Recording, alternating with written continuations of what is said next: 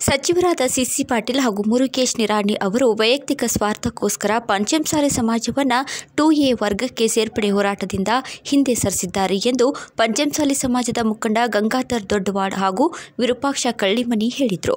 ಲಿಂಗಾಯತ್ ಪಂಚಮಸಾಲಿ ಸಮಾಜಕ್ಕೆ two A ಮೀಸಲಾತಿಗೆ ಇಪ್ಪತ್ತೇಳು ವರ್ಷಗಳಿಂದ ಹೋರಾಟ ನಡೆಯುತ್ತಿದೆ. ಬೆಂಗಳೂರಿನಲ್ಲಿ ಆಯೋಜಿಸಿದ್ದ ಸಮಾವೇಶ ಕಾಂಗ್ರೆಸ್ ಪ್ರಾಯೋಜಿತ ಎಂಬ ನಿರಾಣಿ ಹೇಳಿಕೆ ಸತ್ಯಕ್ಕೆ ದೂರವಾಗಿದೆ.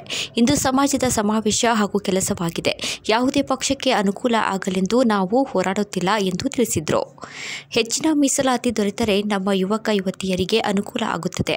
ಅದಕ್ಕಾಗಿ ನಾವು ಶ್ರಮಿಸುತ್ತಿದ್ದೇವೆ. ಈ ನಿಟ್ಟಿನಲ್ಲಿ ವರದಿ ನೀಡುವಂತೆ ಮುಖ್ಯಮಂತ್ರಿ ಬಿಎಸ್ ಯಡಿಯೂರಪ್ಪ ಅವರು ಹಿಂದುಳಿದ ವರ್ಗಗಳ ಆಯೋಗಕ್ಕೆ ಪತ್ರ ಬರೆದಿದ್ದಾರೆ.